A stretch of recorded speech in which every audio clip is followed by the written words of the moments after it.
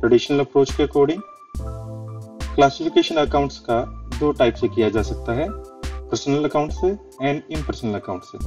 Let's talk about personal accounts personal accounts these accounts which related to any individual form company और any institution are called personal accounts like account of Mohan Ram Shyam Christian account of Tata Limited, account of Delhi government, capital account, drawing account, etc. These all are personal account. ऐसे कोई भी account जो किसी इंसान से किसी person से जुड़े हुए हैं वो कोई भी हो सकता है जैसे किसी इंसान जैसे कोई कंपनी या फिर कोई गवर्नमेंट अथॉरिटी इन तीनों को ही हम पर्सनल अकाउंट के कैटेगरी में लेते हैं so that personal account can be classified into three part first is natural personal account second is artificial personal account. And third is representative personal accounts. Let's talk about natural personal account. जैसे नाम से ही पता चलता है natural person belong to human beings accounts of natural person means account of human being for example Mohan's account Sona's account owners capital account owners drawing accounts debtors account and creditor accounts यहाँ owner capital account owner drawing account owner is a person कोई भी account जो owner से जुड़ा होगा it will also treated as a natural person account and debtor and creditor also are person that is why these are also treated as natural person account let's talk about artificial person accounts. Artificial person accounts these accounts do not have any physical existence like human being but treated as human being. For example firms capital accounts any limited company account any institution account and any bank account account of club account of government departments etc ऐसा कोई भी account जो किसी form से जुड़ा हुआ है, ऐसी कोई भी फर्म इंसान तो नहीं है बट उसे ट्रीट किया जाता है as a person that is why it is called artificial person ये artificial person belong to law any person created by law is called artificial person how जब भी कोई, जब भी कोई कानून के अकॉर्डिंग लॉ के अकॉर्डिंग किसी भी चीज़ को एज ए पर्सन ट्रीट किया जाता है तो उसे हम आर्टिफिशियल पर्सन कहते हैं। Let's talk about representative personal account representative personal account when account represent a particular person और a group of person it will be treated as representative person account for example if salary for the month of March is not paid to the employees employees यहाँ पर एक group of person है। और ये जो salary हमने नहीं दी है तो वो आउटस्टैंडिंग सैलरी बन जाएगी। The amount payable to the employees will be added and put under a common head called outstanding salary ये आउटस्टैंडिंग सैलरी या सैलरी आउटस्टैंडिंग ये सभी लोगों की सैलरी सभी एम्प्लॉयज़ की सैलरी जो रहती है, अभी हमने नहीं दी है आउटस्टैंडिंग है तो ये एक कॉमन हेड में हम कहेंगे उसे outstanding salary then outstanding salary is a group of all the employees salary that is why which is not paid that is why it is a representative person account because outstanding salary is representing all the employees so that we can say that representative person account this is all about personal account let's talk about the golden principle of personal account or first golden principle. Debit the receiver, credit the giver. जब भी हम बात कर रहे हैं three golden principle की, firm अपने बारे में बात ना करके दूसरों के बारे में बात कर रही है। डेबिट द रिसीवर मींस आप रिसीव कर रहे नहीं, कोई और रिसीव कर रहा है आपसे। और कैबिट द गिवर मींस आप उसे दे रहे हैं? नहीं, कोई और आपको दे रहा है। तो डेबिट द रिसीवर जो रिसीव करे आपसे, उसे आप डेबिट कर देंगे, और क्रेडिट द गिवर जो आपको दे, उसे आप क्रेडिट कर देंगे। Let's have some example for example paid rupees twenty thousand to Mohan Mohan को आप ट्वेंटी थाउज़ेंड पेड करते हो।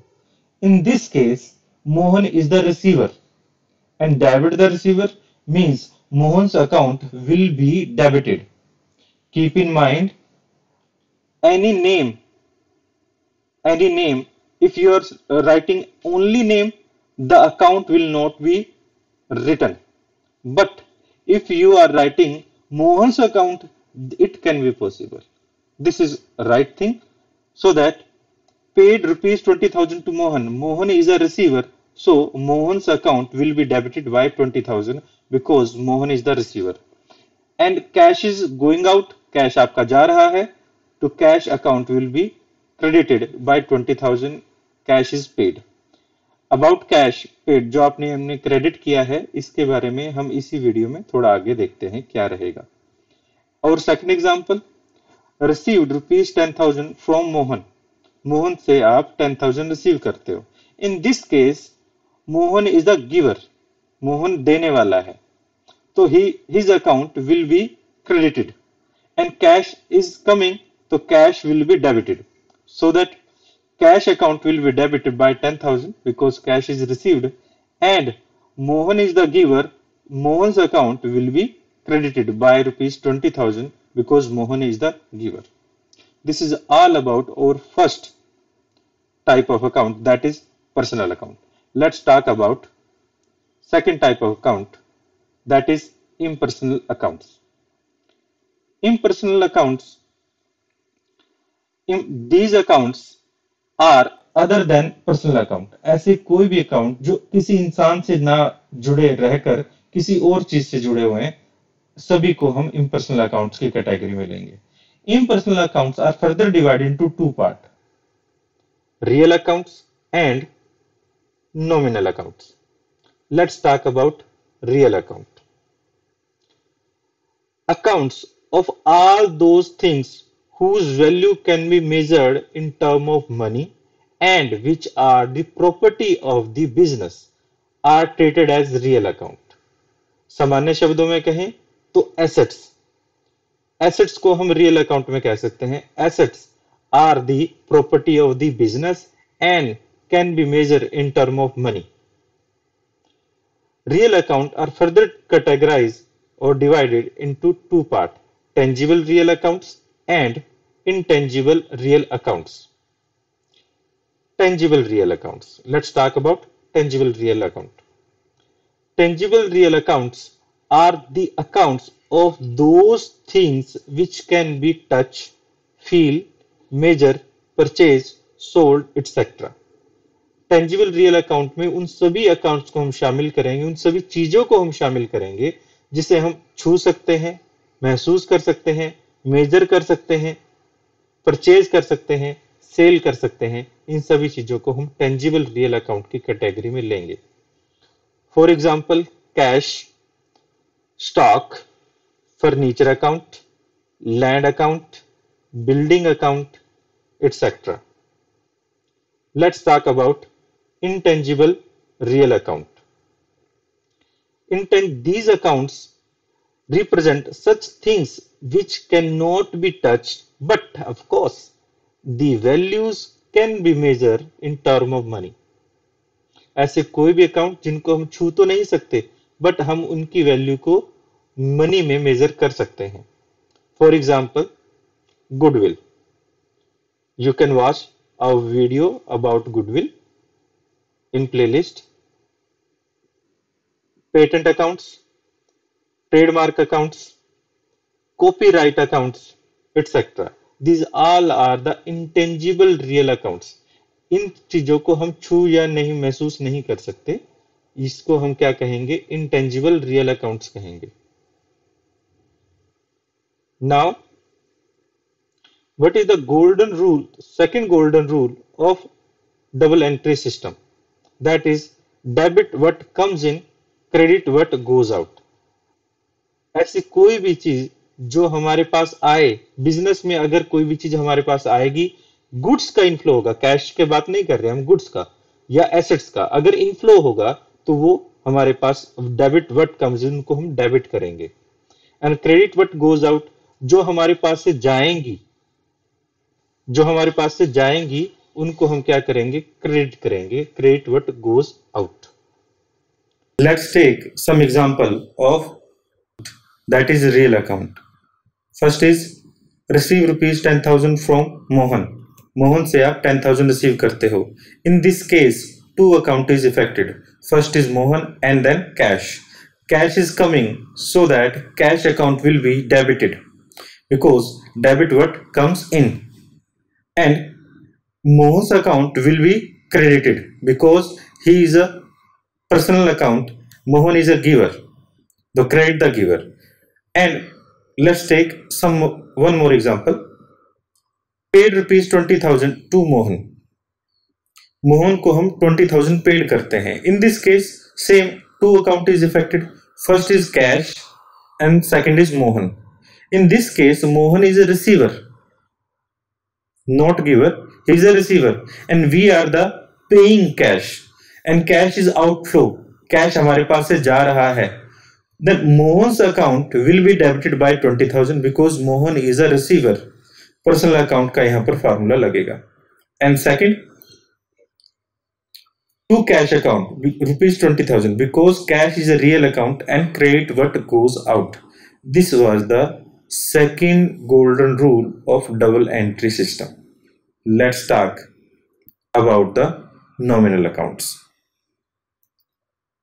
what are the nominal accounts these accounts include the accounts of all expenses and incomes इस प्रकार के nominal account में हर प्रकार की एक्सपेंसेस एंड इनकम को शामिल किया जाता है expenses like salary paid, rent paid, discount allowed, bad debt, etc. These all are the expenses.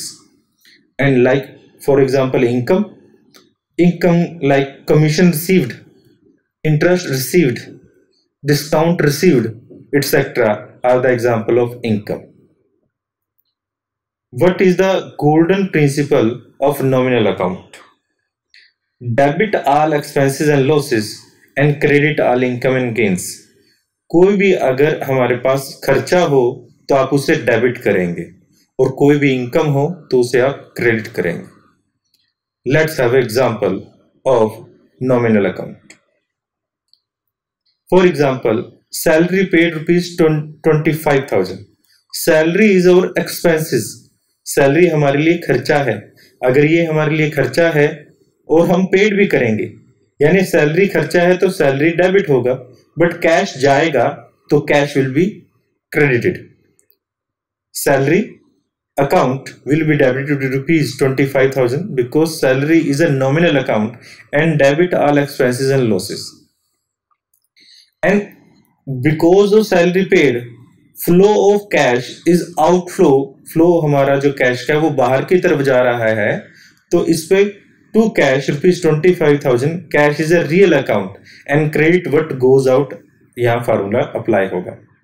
Let's take one more example rupees five thousand received as commission commission के रूप में हम five thousand receive करते हैं।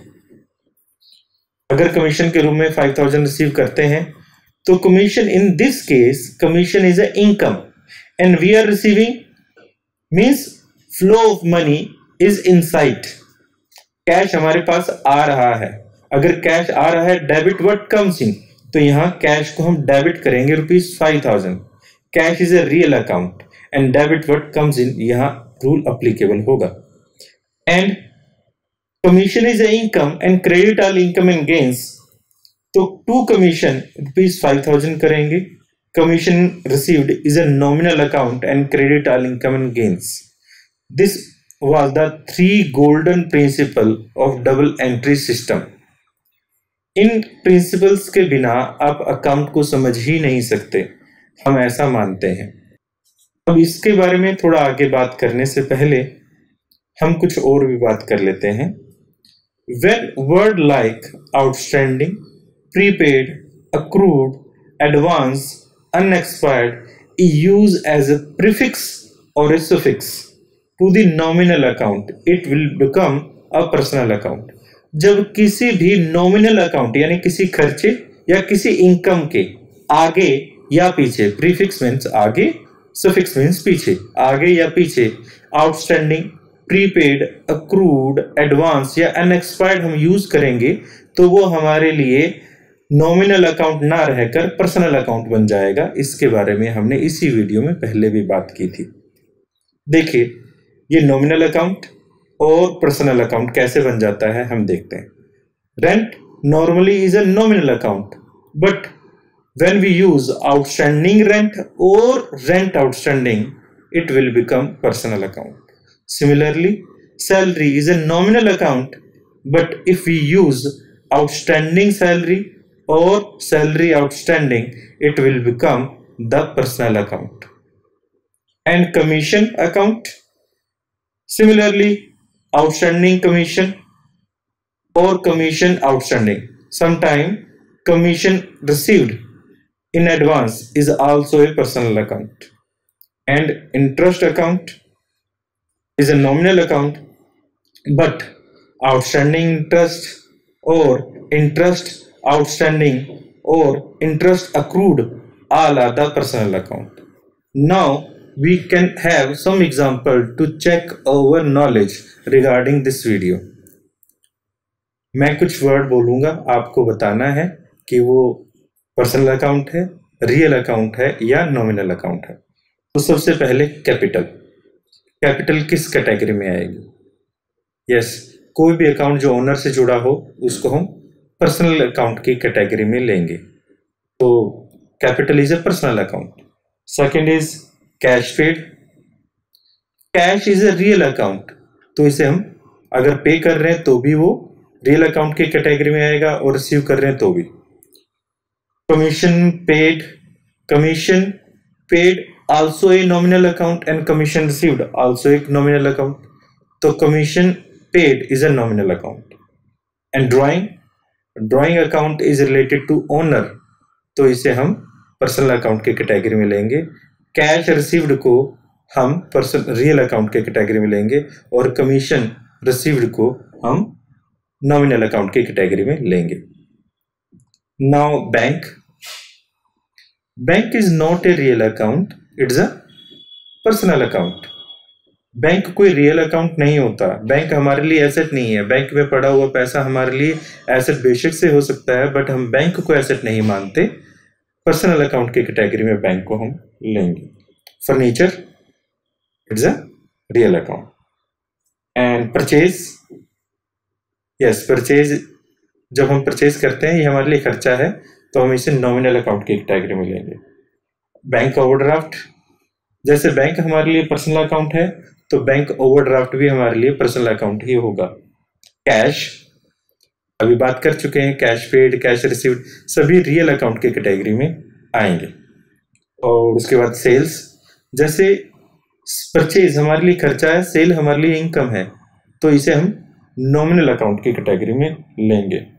Debtor personal account similarly creditor is also a personal account goodwill goodwill is a asset it will be a real account.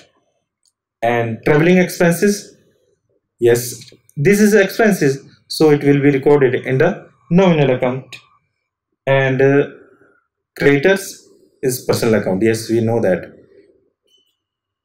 And uh, patent is real account. Salary.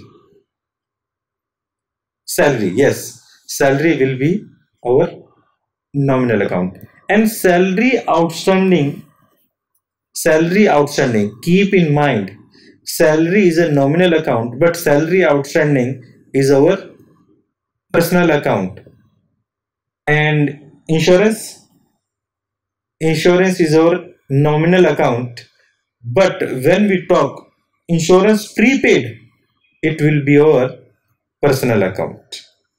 This is all about double entry system. And thank you for watching.